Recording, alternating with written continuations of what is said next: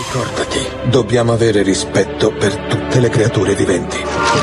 Eccetto che la polizia, i banchieri, gli usurai. Rubare a queste persone è permesso.